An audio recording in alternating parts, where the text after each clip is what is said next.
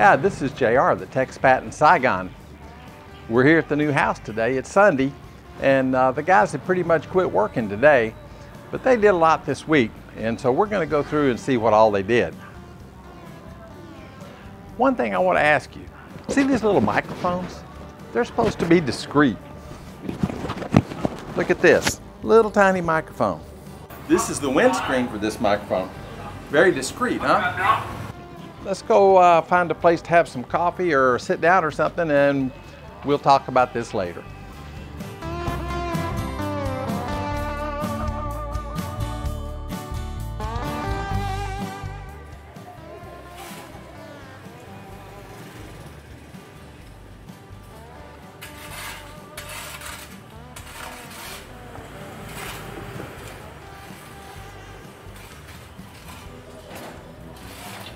Monday and Tuesday, they started taking down the scaffolding they'd put up to plaster the exterior walls.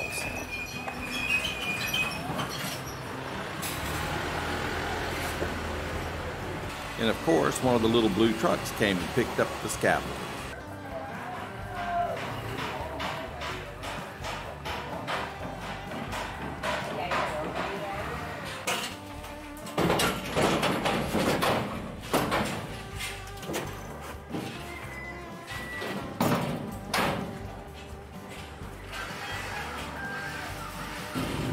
A lot of brick and sand deliveries this week.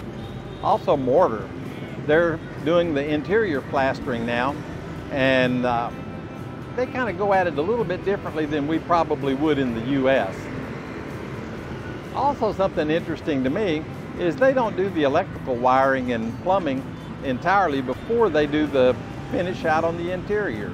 They come back later, knock little troughs in the wall and put in the wires.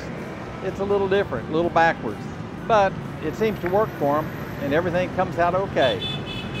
Our house is that way. It was built the same way that uh, this one's being built and it was built 20 years ago.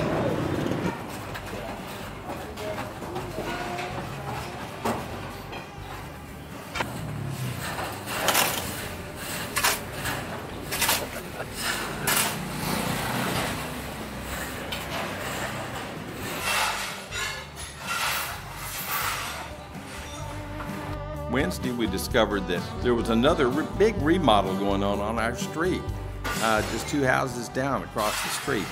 Uh, they opened it up and started tearing everything down.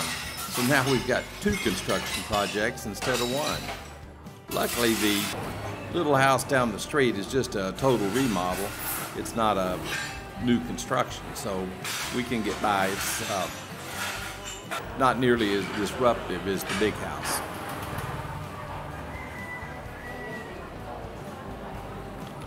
This week at the new house, a lot of stuff happened. A lot got done. They're plastering in the inside. They're putting up some interior walls. Uh, the balconies are starting to look finished with some doors and window frames in. There's a lot done.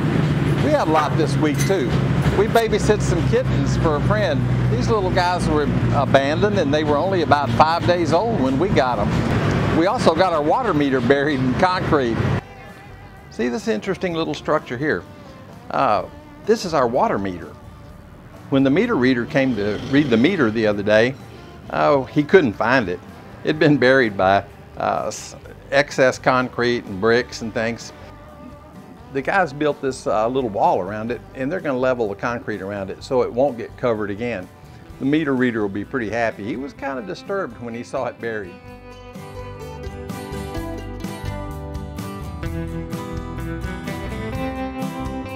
Our friend V left some kittens with us for a couple of nights while she had a small trip to make. So we babysit these little guys. We thought it was going to be easy, but we had to get up every three hours to take care of them. it's not as easy as it looks. They're pretty demanding. Can you believe that somebody just left these little kittens on the street with a bowl of dirty milk? It's pitiful. They're really cute though. We're glad we could be part of their life and help save their lives. They're nice little cats. Somebody's going to give them a good home and they'll have a nice place to stay here in Vietnam. Vee's interviewing some people now and I think she's going to find somebody really good for them.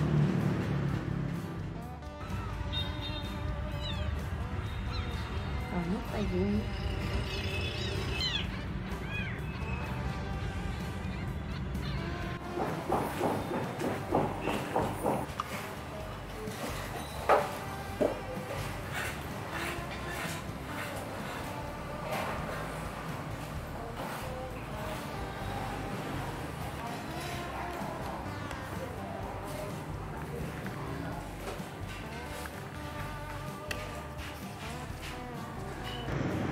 even the traffic noise in the background isn't so bad. But it's constant. I don't think there's anywhere you can shoot a video in Vietnam, or in Saigon, Vietnam at least, where the background noise isn't motorbikes. They're uh, pretty pervasive. This little vendor cart just pulled up in front of the bank. I don't think he's here doing his banking. I think he's doing some selling. Looks like he's selling um, meh. That's the ingredient that Rhea uses for sinigang.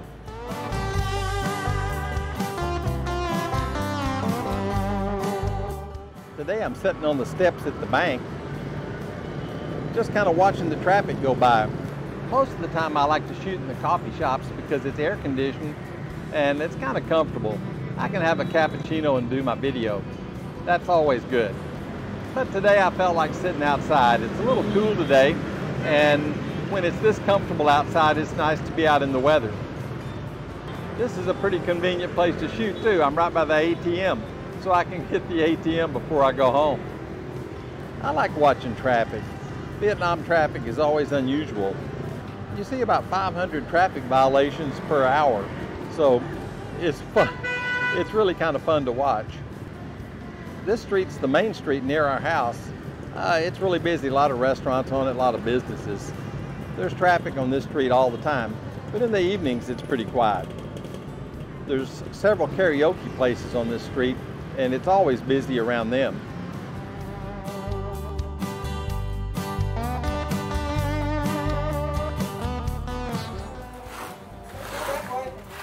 During this, this week, the guys erected scaffolding on the inside. They used the old uh, jack poles that they used to pour the concrete uh, on, the, on the floors uh, to create a scaffolding so they could get up and plaster the ceilings. I'm not sure this is the safest structure in the world, but it seemed to work for them.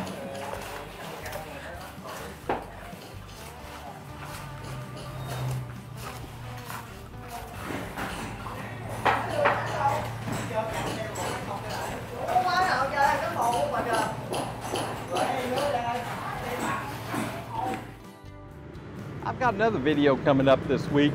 It's about videos that I've already made. I'm going to give you five videos that I really regret making. I wish I hadn't made them. Then I'm going to give you the two videos that are my favorite. So be sure and watch for that. I think you'll enjoy it. If you want to make sure you see all my videos, hit the subscribe button and the little bell. The little bell will notify you when a new video's up. This is JR, the Texpat in Saigon, saying thank y'all for watching.